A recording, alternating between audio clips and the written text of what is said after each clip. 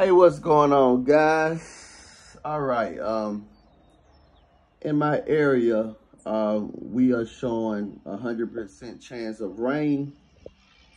And it's been that way since around 5 o'clock this morning, okay? But the problem that I'm having is, hey, it's 11 o'clock and still no rain.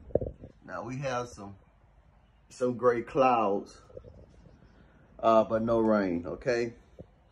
So my initial um, thought was to load up the trailer and maybe go out and try to do two or three yards um, before the rain comes. But I know um, as soon as I do that, um, it's gonna start pouring down raining, okay? So I'm, I'm sitting here watching another hour go by, no rain, and I feel like it's gonna be a wasted day.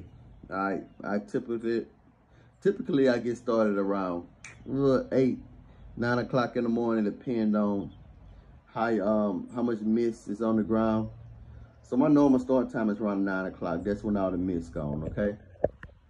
But um, you guys have been asking me a question about my trailer a lot. So let's let's walk around here and um I'm gonna show you guys uh what's going on with this trailer and what type of deal I got with this trailer, okay?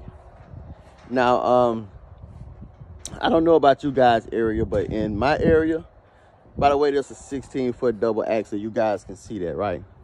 And I um I chose this particular trailer because uh, you can utilize it for uh, whatever you want to do. I mean, this trailer right here can do any type of job you wanted to do. It's not like the flatbed where you can't haul gravel and haul a lot of stuff. Um, you can do leaf cleanups with this job trailer put two nice size mowers on this trailer. You can do anything you want with this trailer right here. This is a um a one one trailer fits all type of deal, right? Um, but in my area, these trailers are going anywhere from five to seven grand. Okay.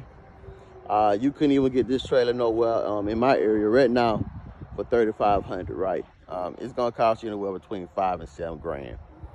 Now guys, I got a steal on this trailer about four years ago. Um, I was pulling a single axle trailer, and if you guys pull a single axle trailer, you know those things wobble in the back, they real, real kind of hard to control.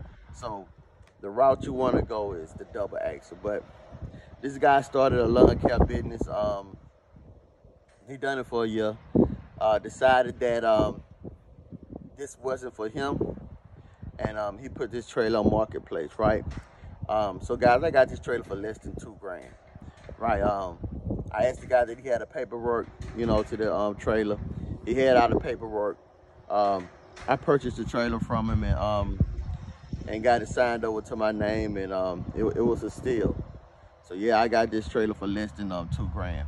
Now the guy wanted two grand for the trailer, but you know I, I negotiated with him and got it down a few hundred dollars less than that all right? And I wouldn't sell this trailer for nothing. I mean, you can come give me three, uh, offer me four grand right now, and I wouldn't sell this trailer, okay? Um, it's, it's been real, real good to me, all right?